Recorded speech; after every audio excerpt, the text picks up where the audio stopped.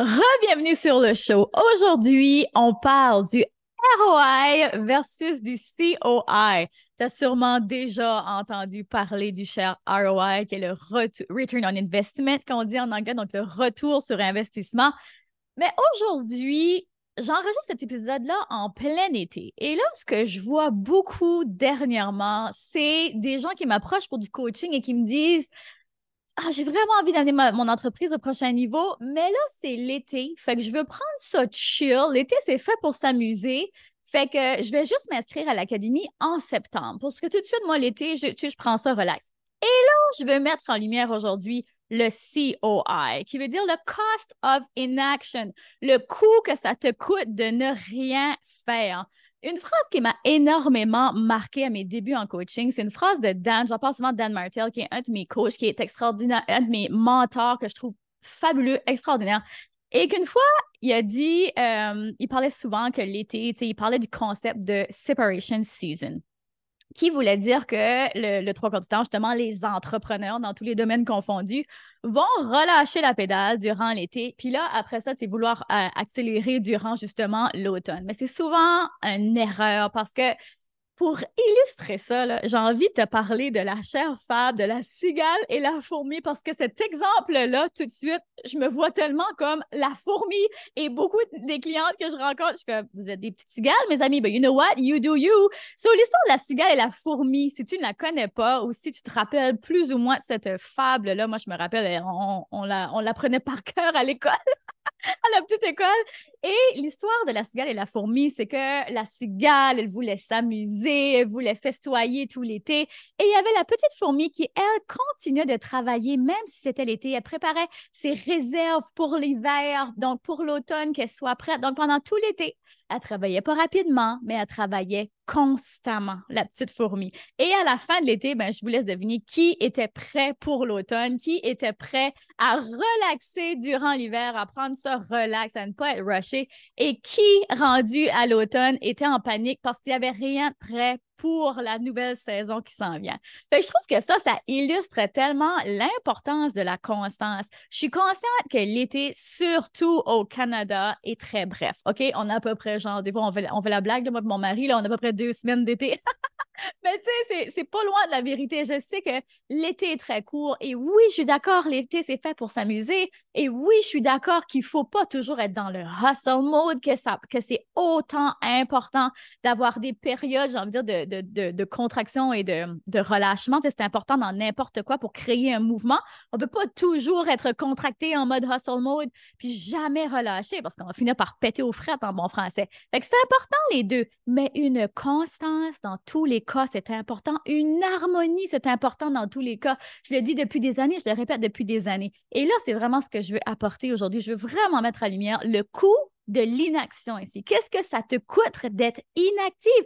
Donc, si je peux te poser une question tout de suite, si tu peux juste toi-même te regarder dans le blanc des yeux puis te dire, qu'est-ce que ça me coûte en ce moment d'être inactive? Qu'est-ce que ça me coûte? Si on va plus en détail sur le ROI, parce que peut-être que c'est un concept que tu es plus ou moins familier avec ou tu as déjà entendu ça dans, des podcasts, dans des vidéos YouTube, peu importe, mais tu ne sais pas trop c'est quoi, c'est vraiment important que tu saches aussi c'est quoi ce concept-là pour l'appliquer à ta business. Si tout de suite tu ne prends pas, euh, si tu ne prends pas, tu ne track pas tes résultats, là, change le mot français, mais si tu ne, tu ne regardes pas en détail tes chiffres, on peut vite se décourager en business puis se dire Ah, ça fonctionne pas trop ce que je fais en ce moment. Fait que la formule du ROI, c'est une formule quand même assez simple que tu peux euh, noter. Va te chercher un papier crayon pour l'écrire tout de suite. Donc, la formule, c'est tu vas prendre ton profit net. Admettons que tu viens de faire un lancement, tu vas prendre ton profit net, tu vas diviser par le coût de ton investissement. Donc, ça t'a coûté quoi pour faire, pour lancer ce nouveau produit-là, par exemple? Je prends un lancement de produit parce que si tu m'écoutes, tu es très probablement une coach euh, qui a des services de coaching. Donc, si tu as lancé ce nouveau programme-là, cette nouvelle formation-là, qu'est-ce que ça t'a coûté? Est-ce que tu as payé des Facebook ads? Est-ce que tu as embauché quelqu'un pour t'aider à faire des publications? Est-ce que tu as embauché une team pour filmer? Euh, qu'est-ce que ça t'a coûté? Puis ensuite, ça va te donner justement ton, ton profit. donner un, là, tu fais x100, puis en plus, ça va donner euh, justement un résultat soit positif ou négatif. Fait que là, tu vas voir si tu as eu un retour sur investissement. C'est important de faire ça. C'est important d'être près de ces chiffres pour voir justement est-ce que ça valait la peine? Est-ce que la prochaine fois, je peux peut-être réduire mon coût d'investissement pour avoir un meilleur profit? Fait que ça, c'est le retour sur investissement. Tu sais, par exemple, ce podcast ici, c'était un peu plus difficile de faire euh, le, le, résultat vraiment concret. je me rappelle quand j'ai lancé mon podcast, Dave était comme euh, OK, mais ça va être quoi le ROI sur ton podcast? Puis j'étais comme, I just have a gut feeling. J'ai un gut feeling que c'est comme la meilleure façon de connecter avec mon audience, la meilleure façon de servir mon audience. Puis on verra. Pour tout de suite, tu sais, je suis juste, des fois, on est vraiment comme, tu sais, dans l'intuition. Mais moi, je suis très intuitive en business. Fait que j'ai lancé mon podcast et laisse-moi te dire qu'au niveau ROI, c'est incroyable. Est-ce que les gens me payent pour écouter mon podcast? Absolument pas. Mais le trois quarts de mes clients, plus que le trois quarts de mes clients, je te dirais comme 90% de mes clients, quand je leur parle, puis je leur demande où est-ce que tu m'as découvert, ou tu sais, ça fait-tu longtemps que tu me suis, d'où est-ce que tu me suis, d'où est-ce que tu, tu, tu proviens, je veux dire, dans mon univers. Et le trois quarts du temps, c'est de mon podcast. J'ai tout écouté tes épisodes de podcast. J'écoute ton podcast, ça fait un an. J'ai comme j'ai trouvé ton podcast la semaine dernière. J'ai écouté 70 épisodes. je pense que je vais finir avec ton accent. J'ai déjà entendu ça, la belle découverte, et ça m'a fait tellement rire. C'était une Européenne, puis elle m'a dit, tu sais, je pense que je vais finir avec ton accent. Je suis rendue, je parle comme toi maintenant. C'est tellement qu'elle avait écouté le podcast. Fait que tout ça pour dire que des fois, le ROI n'est pas super concret, il n'est pas super tangible comme ça, mais euh, quand on prend de dans sa business puis qu'on regarde ses chiffres, on voit que, wow, ça, ça vaut la peine que je continue de le faire, ça me ramène des clients. Ou d'autres choses, ça ne vaut pas vraiment la peine que je continue de faire ça. Puis, puis ça ne me ramène pas nécessairement client. C'est important de, mettre le focus. C'est combien de fois, je le dis, il y a des gens qui sont super occupés mais qui n'ont pas de résultats. Ben, c'est parce qu'ils ne font pas ce genre de, de, tracking-là dans leur business. Fait en tout cas, ça, c'est au niveau du ROI. Maintenant, au niveau du coût de l'inaction, qu'est-ce que ça te coûte de ne pas être active dans ta business, de ne pas prendre action? C'est encore une fois, un peu abstrait, mais en même temps tellement concret. Une des premières choses qui te coûtent, c'est les opportunités manquées. T'as-tu pensé que lorsque tu ne prends pas action, tu perds des opportunités? Si personne ne te voit, si personne ne sait t'es qui, si tu, tu show jamais, comme par exemple, moi, si je serais jamais sur les médias sociaux, par exemple, ben peut-être que j'aurais jamais d'opportunité justement de faire des conférences. J'aurais pas d'opportunité de faire des entrevues de podcast. Les gens me contactent via les médias sociaux parce qu'ils m'ont vu, parce qu'ils ont vu un reel, parce qu'ils aiment mon énergie. Mais pour ça, il faut qu'ils la voient. Fait combien d'opportunités t'as manqué à cause de ton inaction? Deuxième chose, la concurrence, elle, elle continue. La concurrence, elle, a continué de show up. Elle continue de faire des petits pas constants, même si c'est des petits pas, puis elle continue d'offrir. Fait que peut-être que ton client cible qui te voyait, mettons, durant l'année, qui était comme Ah oui, j'aimerais vraiment ça, d'offrir du. J'aimerais vraiment ça prendre du coaching avec elle, par exemple. Puis que là, quand il est prêt, toi, tu n'es pas disponible ou tu as arrêté de show up, ben guess what? Il va aller avec la personne qui était comme Ah, finalement, cette personne-là, elle est disponible, elle show up tout le temps, elle me démontre que je peux avoir confiance en elle, so let's go, je vais aller avec elle. Fait que attention à ça aussi. Troisième chose, perte de revenus. Si tu ne show pas up, si tu ne passes pas à l'action, si tu ne lances pas ton produit, si tu ne lances pas ta business, ben, tu ne peux pas faire de revenus. Tu sais, puis je suis déjà passée par là. Hein. Quand j'ai commencé en business, je disais souvent à Dave, ah, mais là, je comprends pas que je fais pas tant d'argent que ça. Puis là, j'aimerais vraiment ça arriver à 100 000 par année. Mais tu sais, j'avais mon journal de vie avant, on s'entend-tu? Puis mon journal de vie, dans le temps, il n'était même pas 30 là, tu sais.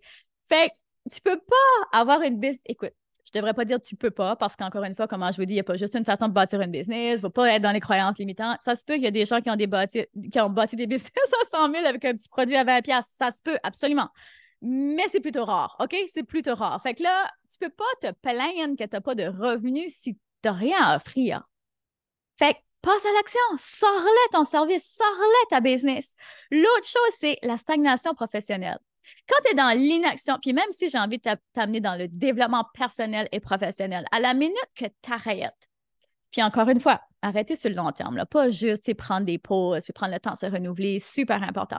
Mais là, je te parle de comme, moi, je fais rien de l'été, je lance aucun programme de l'été, je fais aucun appel à l'action durant l'été, j'offre zéro mes produits durant l'été, euh, je continue pas de me former durant l'été. Et moi, je me forme constamment c'est minimum trois heures de formation par semaine. Puis quand je parle de formation, ce n'est pas formation où nécessairement je suis devant mon ordinateur en train d'apprendre ou je suis activement dans un, dans un groupe live où une personne enseigne. Ce n'est pas nécessairement ça mais j'étudie les livres, par exemple. Hein. Quand je lis un livre, j'étudie la méthodologie, je prends des notes, je l'applique, euh, je vois comment moi je peux l'appliquer dans mes programmes de coaching.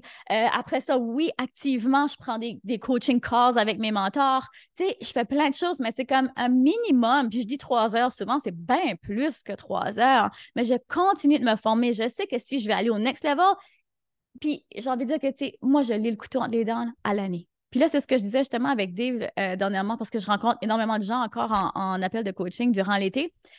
Puis la vibe que j'ai, les, des gens dans ces appels-là, puis même autour de moi, c'est qu'on dirait que personne n'a le couteau entre les dents. Tout le monde est comme Ah, je me laisse porter par le vent, j'aimerais ça, mais je je suis pas nécessairement prête à passer à l'action. Mais moi, le couteau, je l'ai entre les dents tout le temps. Je suis comme je veux plus pour ma vie, je veux plus pour mes clients. Et ça, si moi, je veux amener mes clients next level, puis c'est honnêtement, ça fait une grosse partie de mon pourquoi amener mes clients next level. Je suis toujours à l'affût de comment est-ce que je peux raccourcir le chemin pour elles.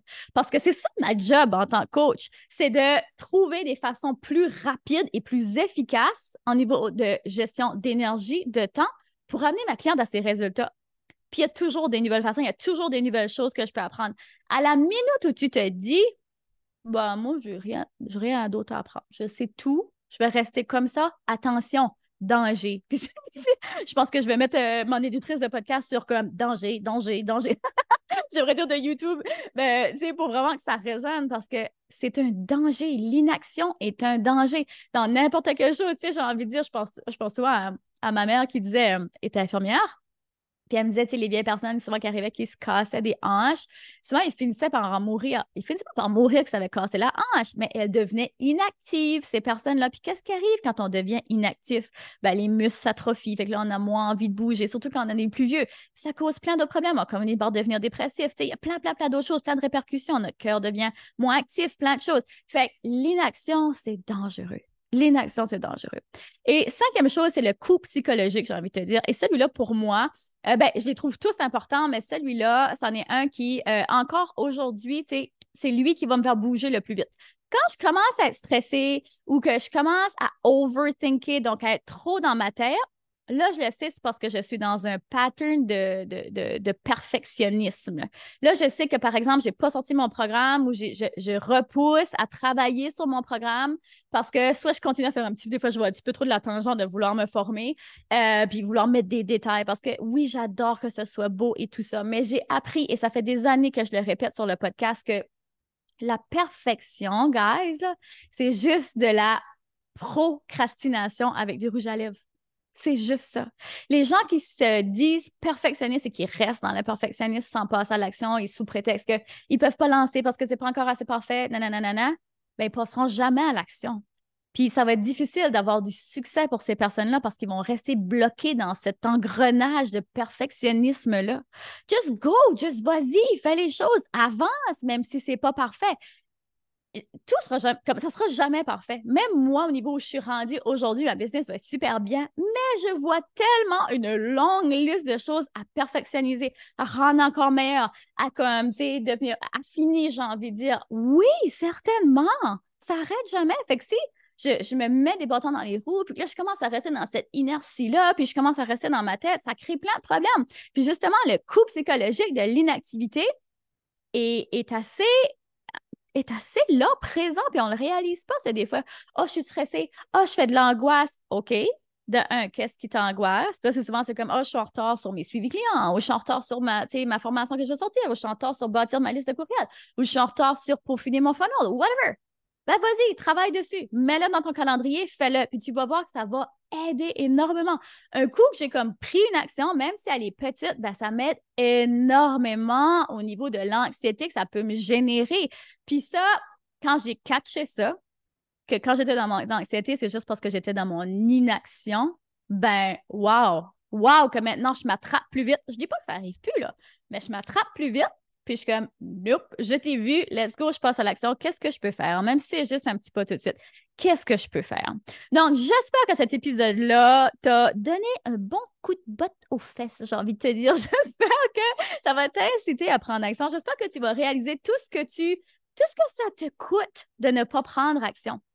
Puis je termine avec une citation de euh, Paulo Coelho parce que je trouve qu'elle résume vraiment très bien cet épisode ici. Et euh, c'est un, auteur que j'adore et je te, je te, la lis parce qu'elle est un peu longue, je voulais vraiment bien la dire parce qu'elle est, elle est très belle. Donc, je te la lis. Bien des échecs dans la vie proviennent de ne pas oser. Ne pas agir, c'est déjà en soi une action. Une action qui engendre regret et stagnation. Le véritable pouvoir réside dans la prise de décision et le passage à l'action. Ça pourrait pas mieux résumer ce que je viens de dire. Fait que j'espère que ça va t'inciter à prendre action. Aujourd'hui, là, c'est une excellente journée pour prendre action. Donc, je te demande, quelle action vas-tu faire aujourd'hui que la future version de toi va te dire merci un jour. Tu sais, j'ai jamais entendu personne me dire Oh, je regrette d'avoir commencé plus tôt. Tout le monde est comme Oh, j'aurais dû commencer avant. Ben, commence maintenant pour qu'un jour tu te dises Je suis reconnaissant d'avoir commencé. Fait que let's go, vas-y, I believe in you. Et sur ce, je te dis continue de briller et de prendre de l'altitude, car le monde a besoin de ce don spécial que seulement toi détiens. Sur ce, on se retrouve sur le prochain épisode. Vous venez d'écouter le podcast Altitude. Pour ne rien manquer des prochains épisodes, abonnez-vous au podcast et cliquez sur le 5 étoiles. Vous pouvez aussi consulter nos outils gratuits créés pour vous au www.podcastaltitude.com. Merci d'avoir été là et à très bientôt dans le prochain épisode Femmes d'altitude.